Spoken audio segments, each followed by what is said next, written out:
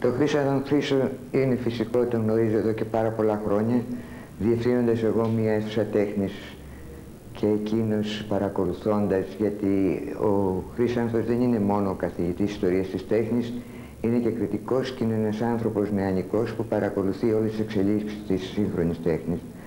Δεν είναι όμως η φιγούρα που θα τη δείτε σε, στα εγγένεια, τα πρόσωπα που συνήθως εμφανίζονται εκεί. Θα έρθει όμως πάντοτε να παραδεί τις εκθέσεις σε άλλες στιγμές όπου μπορεί κανείς και καλύτερα να δει την ουσιαστική προσφορά κάθε καλλιτέχνη. Είχαμε την ευκαιρία να συνεργαστούμε ε, όταν πριν από 6-7 χρόνια βγάλαμε δύο, εκδώσαμε δύο βιβλία. Το ένα αφορούσε ε, το θέμα της θάλασσας στην ε, ελληνική ζωγραφική και το άλλο του τοπίου και είχε την καλοσύνη και την τιμή για μας να γράψει τα κείμενα τα θεωρητικά. Και ήταν μια πάρα πολύ ωραία και ενδιαφέρουσα δημιουργική συνεργασία. Εκείνο ένα άλλο πράγμα που μου έχει κάνει εντύπωση στο Χρυσάνθο Χρήστου είναι ε, η αγάπη του για αυτό που κάνει, το ότι έχει γυρίσει όλη την Ελλάδα, έχει μιλήσει για την τέχνη σε πάρα πολλές πόλεις και όχι μόνο σε όλη την επικράτεια, αλλά ακόμα και όταν έχει διακοπές πηγαίνεις στο εξωτερικό και συνεχίζει αυτό το έργο. Της προβολής και της ε, παιδείας γύρω από τις κλασικές τέχνες. Και βεβαίως το Πανεπιστήμιο που είναι ίσως, νομίζω ότι ήταν και ο πρώτος ε, καθηγητής ιστορίας της τέχνης. Και αυτοί οι άνθρωποι λείπουν από το χώρο και ο οικαστικός χώρος έχει πάρα πολύ ανάγκη να προωθήσει επειδή και στα σχολεία δεν γίνεται, δεν υπάρχει μάθημα τέτοιο που να βοηθήσει τον κόσμο να πλησιάσει την τέχνη και να καταλάβει τι γινόταν άλλοτε, τι συνέχεια υπάρχει και τι γίνεται στις μέρες μας. Και γι' αυτό νομίζω ότι όλος ο χώρος του, του χρωστάει κάποιο ευχαριστώ. Να γυρίσουμε πάλι ε, στην καριέρα τη δική σας, στο διδακτορικό. Από ό,τι διάβασα αντιμετωπίσατε προβλήματα. βλέπετε, ε, το να γράφεις στην καθημερινή, να γράφεις στη δημοτική, είναι λίγο κάζος μπέλι για την περίοδο αυτή. Όταν πήγα ή χάρισα στην αρχαιολογία και στο Μαρινάτο και στον Οικονόμο. Πήγα λοιπόν και τους ζήτησα να κάνω, υπηρετούσα ήδη επιμέλεια αρχαιοτήτων στη Σπάρτη, τους ζήτησα να κάνω ντοκτορά. Με απέπεμψαν, κακής, κακή κακός. Εσένα με αυτή τη γλώσσα που γράφεις, ούτε συζήτηση. Με βρέθηκα σε αδιέξοδο. Ήθελα να κάνω ντοκτορά. Είχα απασχοληθεί και με τη σύγχρονη τέχνη, Έγραφα τότε στο Ζυγό, παραδείγματος χάρη και στην καθημερινή. Στην καθημερινή γράφετε, ήσασταν φίλος του συγχωρεμένου του, του, μεγάλου Κουρμούζη, του Εμίλιου Κουρμούζη. Βεβαίως. Και, και ε, έχω Είχατε σχέση και φιλική μαζί του ή ήταν. Φιλική όταν ερχόμουν στην Αθήνα τον έβλεπα. Γιατί εγώ υπηρετούσα στη Θήβα mm -hmm. ή στη Σπάρτη αργότερα, mm -hmm. αλλά κάθε εβδομάδα α, ήξερα να του στείλω την επιφυλίδα μου Mm. για ένα θέμα ιστορίες, πολιτισμού, τέχνης, ξέρω κτλ. Και γράφατε στη Δημοτική, στην Καθημερινή, η οποία Καθημερινή τότε δεν ήταν, ήταν... ένα φίλο συντηρητικό. Αυτό, αυτό, αυτό ήταν που έκανε μεγαλύτερη εντύπωση και για το οποίο βρήκα τον πελά μου. Βέβαια ο Χουρμούζιος είχε ρίζες στην αριστερά Βέβαια. και Βέβαια. ήταν ανεκτικός και, ήταν, είχε ανοιχτούς ορίζοντες. Δεν έχει κανένα πρόβλημα mm -hmm. ξέρω, για τη γλώσσα, αλλά αρνήθηκαν να με δεχτούν να κάνω δοκτορά. Τότε βρέθηκε όμως ε, ο διευθυντής του Γερμανικού Αρχαιολογικού Ινστιτούτου, ήταν ο Εμίλ Κούντζε, ο οποίος έπαιξε σημαντικό ρόλο και για τη διάσωση των αρχαιοτήτων του Εθνικού Μουσείου. Μαζί με τον Καρούζο, ήσαν αυτοί οι οποίοι και στο κρύψιμο, ξέρω και στα λοιπά και σε όλη, έπαιξε βασικό ρόλο. Αμπά. Βεβαίως. Λοιπόν, αυτός και ο Καρούζος, μου λέει να κάνεις στη Γερμανία, δοκτωρα, στη Γερμανία λέω, πώς θα πάω. Θα φροντίσουμε να βάλεις μια υποτροφία. Και παίρνω μια υποτροφία της ΔΕΑΝΤΕ και πάω στη Γερμανία το 1957. Με ενδιαφέρει όμως το θέμα με το οποίο ασχοληθήκατε για να πάρετε την υποτροφία όπου ήταν υπότνια... Υπότνια θυρών. Εγώ, εγώ ήθελα άλλο θέμα. Εγώ ήθελα άλλο θέμα. Εγώ πήγα, επειδή υπηρετούσα Σπάρτη, πήγα με την... και ήθελε και ο Καρούζος και επειδή ο καθηγητής μου εκεί ο Λάγκρος είχε ασχοληθεί με την λακωνική πλαστική και στον 6ο αιώνα η Λακωνία είχε μια καταπληκτική πλαστική. Δηλαδή καλύτερη και, και από τον Αθηνών για τον 6ο αιώνα, mm. κυρίως τα χάλκινα. Πήγαινα για να κάνω τα χάλκινα τα σπαρτιατικά. Μου λέει ο Λάγκλωτς όχι. Εγώ θέλω να κάνεις ένα σύνθετο θέμα που να έχει μορφολογικά προβλήματα, θρησκεολογικά προβλήματα, ιστορικά προβλήματα και αυτό είναι υπότιμη αθυρών. Και η υπότιμη αθυρών, τον καλύτερο ορισμό τον έχει δώσει ο Εσχύλος, θέμη στεγέα πολλών ονομάτων μορφή μία. Πρόκειται για τη Θέμηδα, πρόκειται για τη Γη, που είναι, έχουν πολλά ονόματα, αλλά είναι μία μορφή. Και είναι ουσιαστικά η μεγάλη μητρική θεότητα όλων των πολιτισμών της ιστορίας, όλων. Είναι ίσης στην ε, Αίγυπτο, είναι η Ατάργα της Σουμεροβαβυλωνία, είναι η Θαβάθα στους Γεταίους, είναι και ούτω καθεξής. Όπου σε μία εξέλιξη αυτής της μορφής φτάνουμε... Κατα, κατα, φτάνουμε στην Παναγία.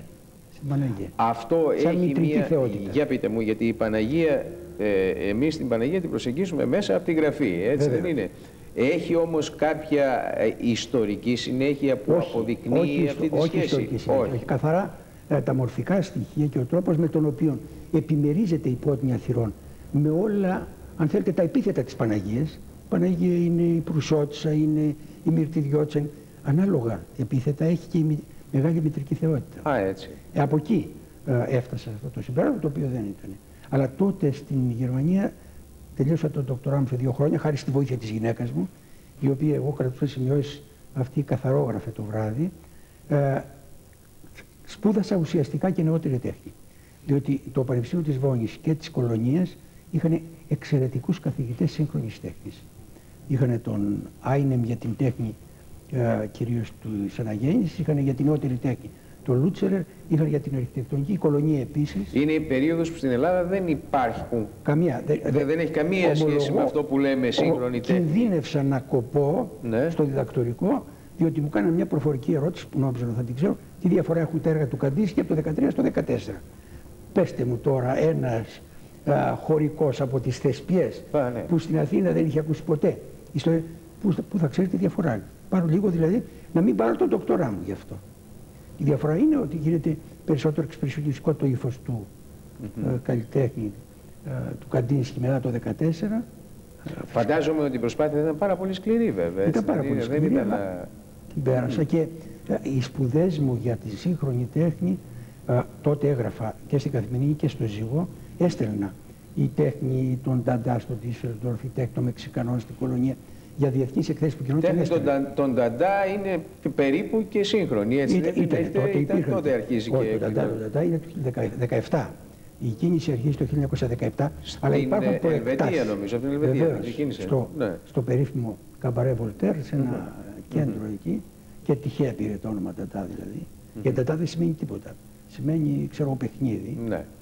Ε, και ε, θέλω να πω ότι έστερνα από τότε. Όταν γύρισα στην Ελλάδα, φυσικά ξαναπήγα στην εφορία μου, στην uh, Σπάρτη. Όπου πλέον ανακαλύπτουν ότι εδώ υπάρχει κάποιος άνθρωπος που κάτι γνωρίζει από τη σύγχρονη τέχνη. Κυρίως uh, οι συνάδελφοι της Θεσσαλονίκης. Ο mm. Ανδρώνικος, uh, ο Σακελαρίου, ο Κακριδής και ο Μπακαλάκης. Όπου το έχουμε ξαναπεί ήταν πολύ πιο πρωτοπο... ήταν μάλλον πρωτοποριακό πανεπιστήμιο Βεβαίως, σε σχέση με, με τον... Δεν υπήρχε έδρα εδώ. Mm. Λοιπόν, ε, με ρώτησαν αν θα... Δεν υπήρχε έδρα ούτε στη Θεσσαλονίκη. Mm. Έκαναν μαθήματα, ξέρω εγώ κτλ. Αναθέσεις. Ε, με ρώτησαν αν θα ιδρύσουμε έδρα. Θα είσαι υποψήφιος. Θα είμαι υποψήφιος, αν είναι κι άλλος, δεν έχω κανένα πρόβλημα. Θα είμαι. Και το 1964 είμαι υποψήφιος στη Θεσσαλονίκη και δεν εκλέγομαι για μία ψήφο. Το 65 δεν εκλέγεται όμως ούτε κανένας άλλος. Το 65 επαναλαμβάνεται η εκλογή και εκλέγομαι πανηγυρικά πια το 60. Σε και χρόνο. αρχίζει η πανεπιστημιακή αρχίζει η πανεπιστημιακή. Ε... Οπότε έχω προβλήματα βέβαια την περίοδο της επταετίας, mm. διότι το 68 ζητάει η σχολή. Ήμουν έκτακτος, έκτακτος μόνιμος λεγόταν τότε. Ναι. Να, γίνει, να γίνω τακτικός και να γίνει τακτική έδρα. Δεν έγινε δεκτό, ήμουν περσόνα non grata φαίνεται το 70 επαναλαμβάνεται. Χωρίς να έχετε σχέση με πολιτική, δεν Χωρίς να έχω ποτέ. σχέση με πολιτική, αλλά να είμαι πάντοτε.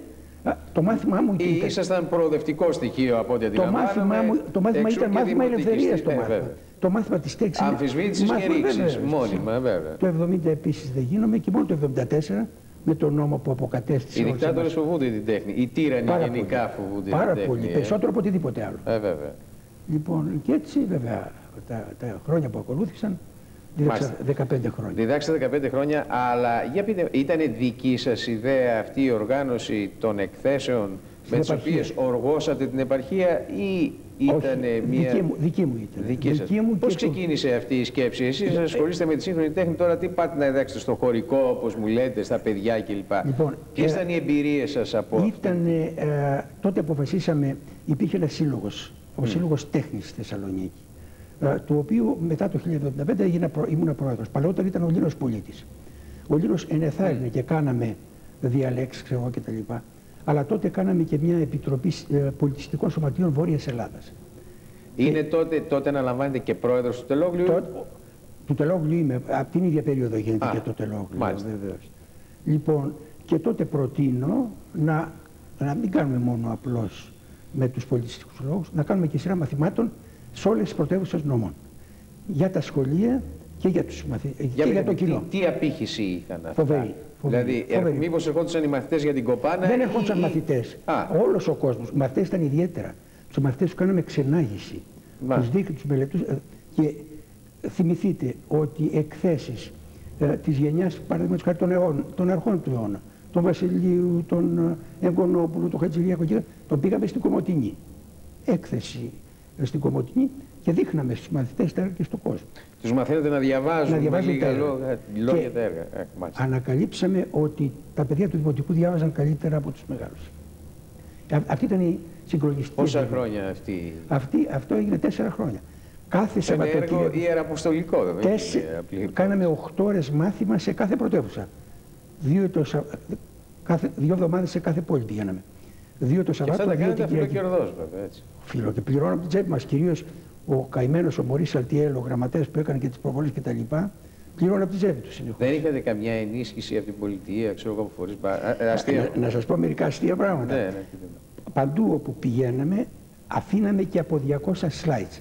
Κάναμε και τέχη του 19ου και του 20ου αιώνα. Με 200 slides. Και τα αφήναμε στα σχολεία. Τα οποία δεν τα πλήρωνε το Πανεπιστήμιο, ήταν από την τσέπη σας. Όχι βέβαια. Βρίσκαμε χορηγούς οι οποίοι τα πλήρωναν και είχαμε κάνει 200 σειρές, τις οποίες αφήναμε σε σχολεία μαζί με τα μαθήματα που κάναμε, τα 8 ώρα μαθήματα, τα αφήναμε. Σας θυμούνται από τότε κάποιοι με... ότι μάθανε βεβαίως, από εσάς κάποια πράγματα. Βεβαίως, ε; Τα θυμούνται και υπερηφανά πολλές φορές βλέπω έναν. Α, εγώ ήμουνα στην Κομωτινή όταν μας μίλησες, ξέρω εγώ, για τον Είναι Πικασό. Συγκινητικό. Είναι συγκινητικό.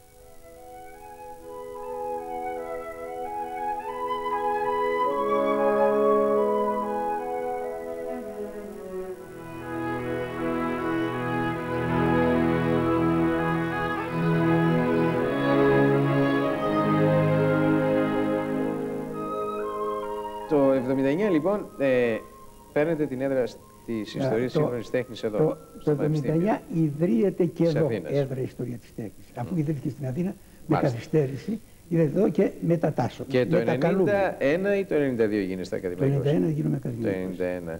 Όπου οργανώσετε το Γραφείο Έρευνας Νεοελληνικής Τέχνης. Που ασχολείται με την καταγραφή των έτσι; Βρίσκεται, το γραφείο έχει ιδρυθεί και εργάζεται φυσικά. Mm. Στόχος είναι να γίνει κέντρο ιστορίες της νεότερης τέχνης. Για πείτε μου πάντως, ένας από τους βασικότερους στόχους, και εδώ θέλω να σταθούμε για λίγο, είναι η καταγραφή των γλυπτών. Των υπεθρίων γλυπτών στην Ελλάδα. Ξέρετε, έχουμε κόρπους, έχουμε σώματα με ε, τα κεραμικά, ξέρω, της τάδε περιοχής, τα βάζα της τάδε περιοχής, ε, τους ε, πίνακες, ή τους Ανδριάτες, όχι, τους πίνακες ή περισσότερο στις τυχογραφίες των κηθήρων. Θέλω να πω, δεν ξέρουμε τι ακριβώς υπάρχει στην Ελλάδα από γλυπτική. Από υπαίθρια κυρίως γλυπτά. Θέλω να σταθούμε για λίγο στα υπαίθρια γλυπτά. Α, κάπου διάβασα ότι ήδη έχουν κλαπεί αρκετά από το νεκροταφείο. Είναι γεγονός αυτό; Ε, φαίνεται ότι είναι γεγονός και όχι μόνο από το νεκροταφείο. Mm. Φαίνεται ότι όπου είναι πρώτα-πρώτα καταστρέφονται, δεν δηλώνονται. Ε, κάθε λίγο και λιγάκι βλέπετε πώς μαυρίζουν, ξέρω εγώ, με σπρέι διάφοροι έξι Έλληνες. Λοιπόν, θέλουμε όλα αυτά τουλάχιστον να ξέρουμε τι έχουμε. Τι προστίθεται κάθε μέρα, διότι κάθε μέρα προστίθονται λεπτά σε όλη την Ελλάδα. Έχουμε τελειώσει την Αττική, όλη την Αττική. Περνάμε ε, φέτος στην Διωτία Εύβοια. Ε, ελπίζουμε να πάμε ύστερα στα νησιά και ούτω καθεξής. Το πρόβλημα βέβαια είναι ότι πρέπει να γίνει το γραφείο αυτό κέντρο. Να αποκτήσει, διότι εργάζομαι τώρα μόνο με έναν άνθρωπο, τον Γιάννη Γαλερίδη, έναν διδάκτορά μου από το Πανεπιστήμιο, ο οποίος θα πρέπει να τα κάνει όλα. Α, πείτε μου κάτι κύριε Χριστό, να δούμε πρώτα απ' όλα τη θέση, τι θέση κατέχει μάλλον σήμερα η Ελλάδα ε, στο χώρο της τέχνης με τη μορφή που έχει πάρει σήμερα η τέχνη, αυτή της παγκοσμιοποίησης. Έχει μια πάρα πολύ καλή θέση. Mm. Σημειώστε ότι ένα μεγάλο πρόβλημα που υπήρχε στην ελληνική τέχνη μέχρι τις αρχές του 20ου αιώνα ήταν μια κάποια καθυστέρηση σε σχέση με την ευρωπαϊκή. Δηλαδή, Τα, ρεύματα αργούσαν να περάσουν εδώ. Με ε, καθυστέρηση 30 χρόνων. Δηλαδή εμείς τον κλασικισμό τον είχαμε, ενώ ο κλασικισμός στο τέλος, στις αρχές του 19ου είχε ολοκληρωθεί, εμείς τον είχαμε μετά το 1830. Το ίδιο με τον ρομαντισμό, το ίδιο με τον εμπρεσιονισμό. Το... Από τις αρχές του αιώνα, με τους καλλιτέχνες της πρώτης γενιάς, καλλιτέχνες που γεννήθηκαν από το 1900 ως το 1920, η τέχνη μας βρίσκεται με τον ίδιο βηματισμό της παγκόσμιας τέχνης. Έχουμε δηλαδή καλλιτέχνε οι οποίοι όχι μόνο χρησιμοποιούν στοιχεία από την παγκόσμια παράδοση, αλλά και πρωτοπόρουν. Να σας πω παραδείγματα. ο Χατζικυριάκος Γκίκας κάνει μια προσωπική νέα, ένα νέο συνδυασμό του φοβισμού με τον κυβισμό. Δεν έχει γίνει πουθενά άλλο κάτι τέτοιο. ο Κοντόπουλος και ο Σπυρόπουλος μεταφέρουν σε ένα περισσότερο μεσογειακό κλίμα τον εξπρεσιονισμό, τον αφηρημένο εξπρεσιονισμό. Με γεώδη χρώματα, με χαμηλότερους τόνους, mm. Χωρίς τονισμένες ε, αντιπαραθέσεις, χωρίς παραμορφώσεις ξέρω κτλ. Ο Μόραλης εισάγει πραγματικά με την ανθρώπινη μορφή τη γεωμετρική αφαίρεση. Αυτά τα πράγματα δεν είναι κοινά ούτε στην Ευρωπαϊκή Ο Παύλος που έφυγε από εδώ. Ο αυτή είναι στην άλλη γενιά. Α, είναι η επόμενη γενιά. Αυτή είναι η επόμενη. Ναι, ναι, Α, με, την, με την ιστορία της τέχνης, εμείς και φρόντισα να το κάνω και για την ελληνική. Mm. Ε, μελετούμε τους καλλιτέχνες κατά τη γενιά. Η γενιά θα πει την περίοδο που ήρθαν στον κόσμο, mm -hmm. όχι που παρουσιάστηκαν. Διότι έτσι έχουμε περισσότερο συγκρίσιμα στοιχεία. Για να καταλάβετε, η γενιά που κάνει την κλασική περίοδο της αναγέννησης είναι αυτοί που γεννήθηκαν από το 1450 στο 1500. Ο Λεωνάρδο Νταβίντσι, ο Μιχαήλ Άγγελος, ο Ραφαήλ, ο Τιτσάνο, ο Τζορτζ Τζόνε, ο Παρμαδέκιο κτλ. Είναι όλοι Λοιπόν, το ίδιο πράγμα ισχύει και στην Ευρωπαϊκή Τέχνη και τώρα, παραδείγματο χάρη. Ο κυβισμό είναι τη γενιά του 90, του 1890-1900. Ο εξπρεσιονισμό, η, η μεταφυσική ζωγραφική και ο σουρεαλισμός είναι της γενιάς 1900-1910. Δηλαδή περισσότεροι καλλιτέχνες έχουν γεννηθεί σε αυτή τη γενιά. Σήμερα υπάρχουν νέα ρεύματα. Βεβαίως οποία... Και ποιο ε, είναι; Στη γενιά του Μεσοπόλεμου, mm. παραδείγματος χάρη, μετά από αυτή ναι. την πρώτη γενιά, έχουμε μερικά σημαντικά ονόματα. Δηλαδή, δεν υπάρχει καμιά αμφιβολία, 15-20 καλλιτέχνες με παγκόσμια εμβέλεια. Είπατε τον Παύλο, α, μπορείτε να πείτε τον Τζόκλι, μπορείτε να πείτε τον Τέτση, μπορείτε να πείτε το τον Κωνσταντίνο Ξανάκη, μπορείτε να πείτε τον Κουνέλη, mm. μπορείτε να πείτε τον Σαμαρά. Είναι πραγματικά ε, χαρακτηριστικό ότι οι δημιουργοί αυτοί δεν περιορίζονται να δέχονται στοιχεία μόνο. Ανοίγουν δρόμους. Ανοίγουν καινούριους δρόμους. Mm. Δείτε μερικούς από αυτούς με, τι, ε, με τι τρόπο συνδυάζουν πραγματικά και ζωγραφικά στοιχεία ή χρησιμοποιούν νέους τύπους. Ο Παύλος, παραδείγματος χάρη, με τα ε, φύλλα του χαρτιού με κτλ. Με την αφίσα, με, με κομμάτια χαρτιά, ξέρω κτλ. Ναι, ναι, ναι. Ή άλλοι καλλιτέχνες με άλλα νέα στοιχεία. Mm -hmm. Δεν υπάρχει καμιά αμφιβολία.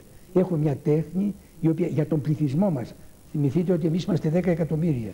Είναι σε καλύτερο επίπεδο από ότι η τέχνη άλλων λαών με πολύ μεγαλύτερο πληθυσμό. Μας κάνει περήφανος αυτό που λέτε. Ε, δεν φταίω εγώ, οι καλλιτέχνες φταίνε. Βέβαια, πρέπει να, πω, πρέπει να πω ότι πολλοί καλλιτέχνες επιδιώκουν την υπογραφή σας ε, στους καταλόγους τους, στην κριτική σας. Και βεβαίως, αν είναι δυνατόν, την καλή κριτική.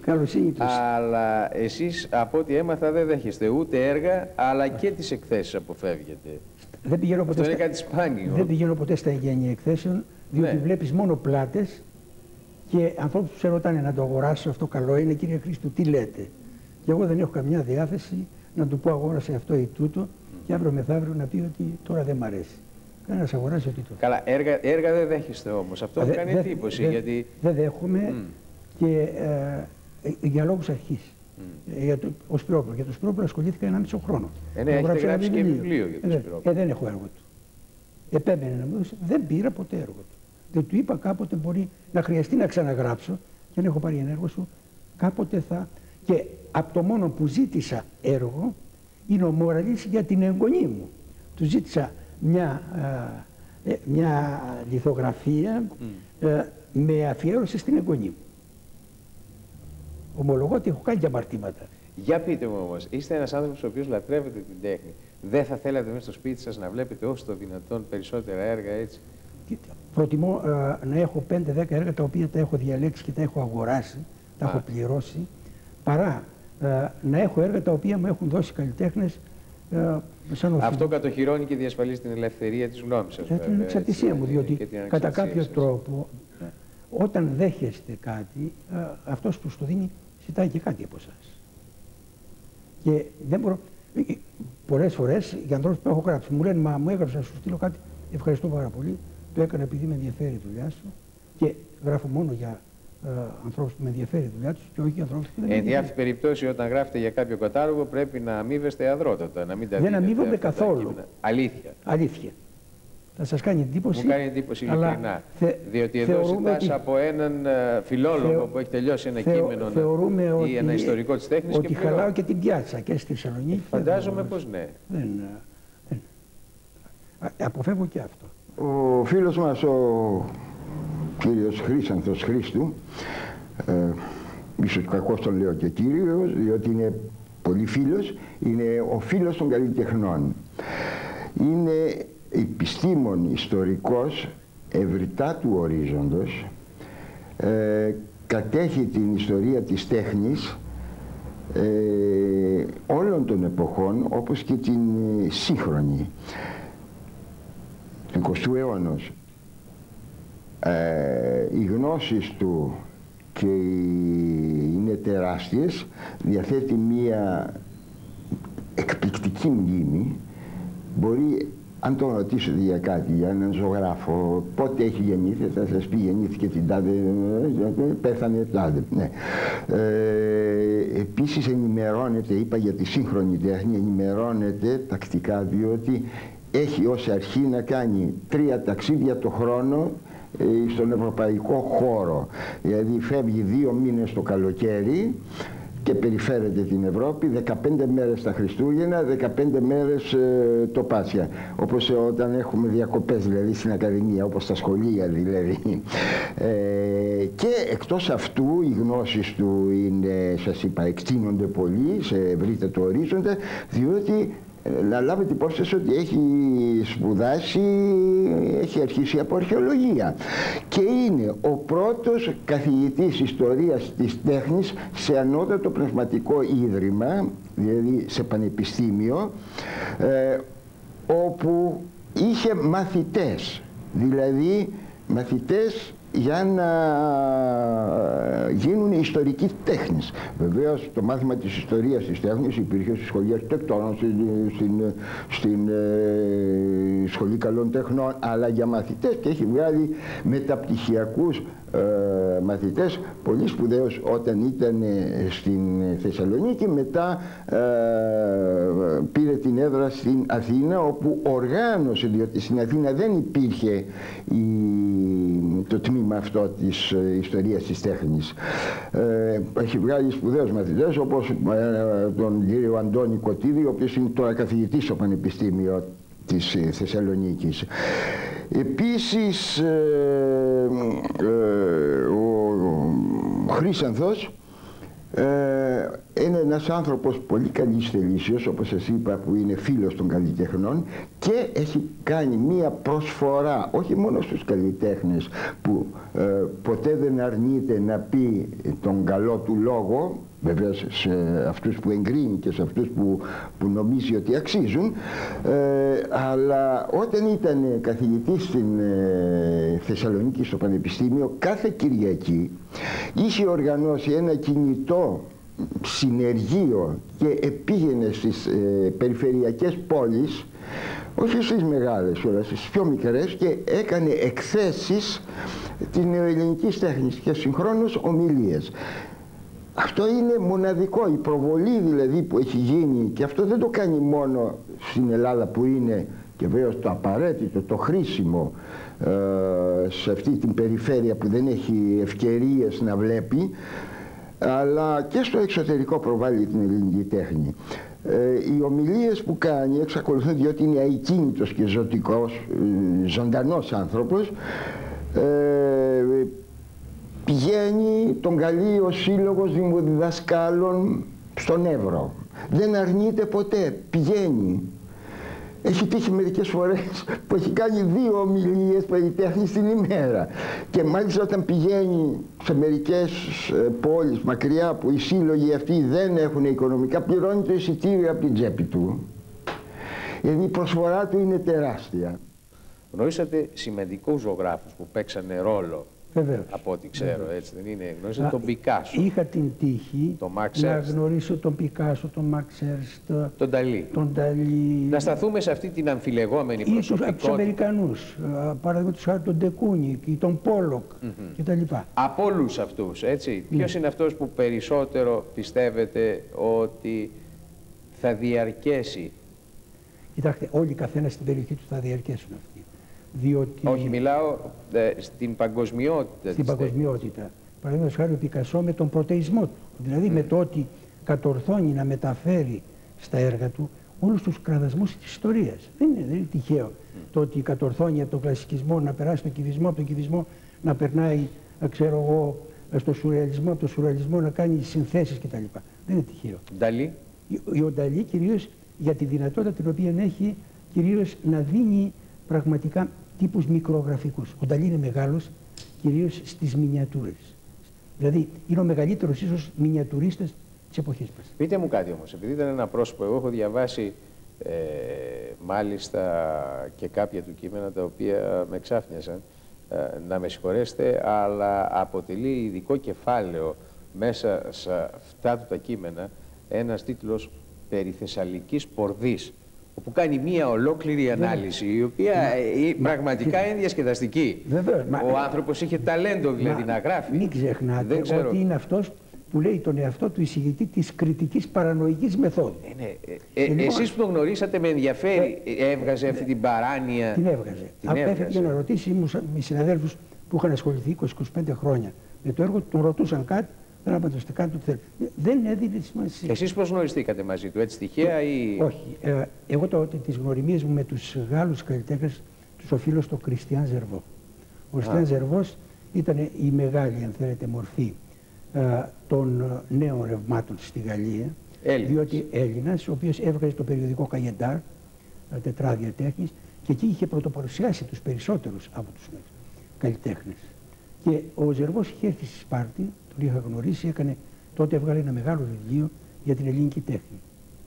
Το, ε, και μου είπαν έρθεις στο Παρίσι καμιά φορά ε, και θέλεις να δεις κάποιο καλλιτέχνη. Ε, τον πήρα τηλέφωνο και έτσι γνώρισα, πήγα και είδα Όλους αυτούς. Ενώ τους Αμερικανούς τους γνώρισα χάρη στο Λεκάκι. Ο Λεκάκι ήταν ένας Έλληνας πάλι γλύπτης, ο οποίος ζούσε στη Νέα Υόρκη, μακάρι της και αυτός, πέθανε πριν από τρία χρόνια, ο οποίος ε, πήγα με μια Fulbright στην Αμερική, έγραφα τον τρίτο τόμο της τέχνης του 20ου αιώνα, που το μεγαλύτερο μέρος είναι και η Αμερικάνικη τέχνη. Mm -hmm. η, η Αμερικάνικη τέχνη μόνο μετά το 1945. Παρουσιάζει κάποιο Όχι παρουσιάζει, ανεξαρτοποιείται. Mm -hmm. Είναι τέχνη που έχει κάτι να πει. Και τότε μου πρότεινε το Fulbright να πάω να μελετήσω. Α, είχε μαθευτεί φαίνεται από εδώ κάποιος του είχε στηρίξει. Mm -hmm. Και μου είπε να πάω σε κάποια βιβλιοθήκη. Τους είπα δεν πάω σε βιβλιοθήκη. Πάω μόνο με τον όρο να μπορώ να πάω σε 20 μεγάλα μουσεία της Αμερικής να δω έργα που θέλω να δω. Έκανα δεχτεί την αίτησή μου και έτσι γύρισα την Αμερική με Fulbright και ο Λεκάκης ε, έπαιρνε στο τηλέφωνο τον Ντεκούνικ, παραδείγματος χάρη, το σημαντικότερο εξπρεσιονιστή της σχολής της Νέας Υόρκης και έλεγε: Έχω έναν Έλληνα μελετητή εδώ, καθηγητή κτλ. Το καθηγητής πιάνει περισσότερο έξω. Mm -hmm. Λοιπόν, με δεχότανε Μάλιστα. και για τον Ντεκούνικ μπορώ να σας πω ότι είναι από τους σημαντικότερους εξπρεσιονιστέ. Πέθανε πρόπερση το γράφησε πάνω του μεθυσμένος. Είχε ένα γαλόνι ουίσκι πλάι και κάθε λίγο το σήκωνε και έλεγε. Και με συγγραφή. Λέω εγώ όλο να πιω, πιο, πιο γουλιές με κουβαλάνε. Η τέχνη, ε, οι δρόμοι που ακολουθεί η τέχνη στην Αμερική ε, εξαρτώνται σε μεγάλο βαθμό από τα ρεύματα της Ευρώπης ή ακολουθεί ένα δρόμο Μετά το 1945 όχι. Όχι. Μέχρι το 1945 ήταν δέσμια κυριολεκτικά mm -hmm. της ευρωπαϊκής τέχνης. Μετά το 1945 όχι. Γι' αυτό έχουμε τα πρώτα μεγάλα ρεύματα ανανέωσης και της ευρωπαϊκής τέχνης έρχονται το 45-50 από την Αμερική. Είναι ο αφηρημένος εξπρεσιονισμός. Λίγο αργότερα γίνεται ο τασισμός ο οποίος περισσότερο κερδίζει στην Ευρώπη καθοριστικό ρόλο. Για να ακολουθήσουμε μετά το 65 η pop art, η op art, η τέχνη διαδικασία και μια σειρά από άλλα ρεύματα που με τον Άντι Βόρκολ και όλους. Μάλιστα. Α, έτσι φτάνοντας τώρα προς το τέλος, μια ερώτηση που φαντάζομαι θα είναι χρήσιμη για τους τηλεθεατές μας και για μας. είναι εύκολο να μας μάθετε να διαβάζουμε έναν πίνακα; Έχετε πει ότι έχει γραμματική ο πίνακας, έχει συντακτικό, έχει υποκείμενο, αντικείμενο. Δηλαδή Λεξιλόγια κτλ. Βεβαίως. Υπάρχουν κάποιοι, υπάρχει, ας πούμε, υπάρχουν πέντε λόγοι. Βεβαίως. Ναι. ναι. Πρώτα πρώτα, ποια είναι η σύνθεση; Ένα έργο που έχει οριζόντιες γραμμές είναι ένα ήρεμο έργο, ξέρω κτλ. Ένα που έχει διαγώνιες γραμμές είναι επιθετικό. Τα μπαρόκ, παραδείγματο χάρη, άμα δείτε ένα του μπαρόκ, είναι όλα διαγώνια. Ένα χρώμα το οποίο, ένας χώρος, αν είναι ενεργητικός, δηλαδή ανοίγει πολύ μπροστά, σε προσαρτά, σε παίρνει μέσα του σε υποχρώνει κατά κάποιο τρόπο να σκεφτεί για τον ίδιο τον εαυτό του. Ένας άλλος χώρος σε πετάει έξω όταν είναι όλο ψυχράχωνο. Υπάρχουν τέτοια μικρά μυστικά. Γιατί, να, να κάνω και λίγο διαφήμιση, διαβάστε την εισαγωγή μου, την εισαγωγή στην τέχνη, ένα από τα βιβλία μου, να δείτε αυτά τα πράγματα. Ώστε να πάρει και ο Σύλλογος προς διάδοση των ωφελήμων βιβλίων που το έχει εκδώσει να βγάλει τίποτα. Διότι εγώ το, το έχω δώσει. Βεβαίως να τα πάρουμε, διότι καμιά φορά συναντάμε ζωγράφους και ε, δεν έχουμε την απαραίτητη ενημέρωση. Όχι, το πρόβλημα είναι δεν πρέπει να, να ζητάτε. Να δεν, πρέπει, δεν πρέπει να ζητάτε από τους ίδιους καλλιτέχνες. Ο Ματής έχει πει κάτι πάρα πολύ σωστό. Mm -hmm. Όταν το ρωτούσαν α, τι λέει αυτό το έργο, τι, λέει, αν δεν σας λέει ό,τι έχει να πει το ίδιο το έργο, μην περιμένετε, θα σας το πω εγώ. Εγώ θα ήμουν τότε λογοτέχνης, θα ήμουν ποιητής, θα τα έλεγα με λόγια και όχι με χρώματα. Λοιπόν, είναι κάτι το οποίο το έχει λύσει ο Ματής, δεν χρειάζεται να το λύσει. Πάντως η αγωνία όλων εσάς είναι πότε η Ελλάδα θα αποκτήσει μουσείο σύγχρονο. Μοντέρνα τέχνη, σύγχρονη τέχνη. Είναι πραγματικά να σκεφτείτε ότι και η Αλβανία έχει. Εμείς δεν έχουμε. Με τέτοιους καλλιτέχνες, με τέτοιο δυναμικό, ακόμα και με μελετητές. Τώρα έχουμε και μια μεγάλη ομάδα καλών μελετητών της ιστορίας της τέχνης δεν έχουμε μουσείο σύγχρονη τέχνη. Και τα λίγα έργα που υπάρχουν είναι στην πινακοθήκη, που δεν είναι για τη σύγχρονη τέχνη. Η πινακοθήκη είναι ιστορική πινακοθήκη για τον 19ο αιώνα, για τις αρχές του 20ου, αλλά για σύγχρονα ρεύματα. Ε, είναι, χρειάζεται, χρειαζόμαστε ένα μουσείο σύγχρονη τέχνη. Κύριε Χρήστο, η τέχνη σήμερα κατέχει μια ε, αξιόλογη θέση στα διεθνή χρηματιστήρια. Ε, και πολλοί είναι αυτοί που την αντιμετωπίζουν ως μέγεθος κυρίως επενδυτικό. Ε, αυτό νομίζετε ότι επηρεάζει σε έναν βαθμό τον χαρακτήρα της; Λιγότερο ή περισσότερο τον επηρεάζει, αλλά δεν είναι αυτό που παίζει καθοριστικό ρόλο. Και θα ήταν περίεργο σε μια περίοδο εμπορευματικοποίησης των πάντων να μην εμπορευματικοποιηθεί και η τέχνη. Θα ήταν αστείο δηλαδή. Ακολουθεί τον, σας είπα, κάνει την ιστορία συνείδηση. Μιας κοινωνίας σύγχρονης. Ό,τι ζει η σύγχρονη κοινωνία είτε έχει το μεταφέρει σε εικόνες. Μεταφέρει τον χαρακτήρα του κόσμου που όλα, όλα ουσιαστικά έχουν γίνει εμπόρευμα, το ξεχνάμε, και αφού έχουν γίνει όλα εμπόρευμα, δεν μπορεί παρά και το έργο τέχνης. Χωρίς ουσιαστικά. Να αλλοιώνει τον προορισμό της και το στόχο της και το χαρακτήρα της. Μάλιστα. Θα σας ευχαριστήσω πάρα πολύ. Μας μάθετε πολλά χρήσιμα και ωφέλιμα. Ευχαριστώ εγώ για την υπομονή σας. Γεια σας. Γεια Τι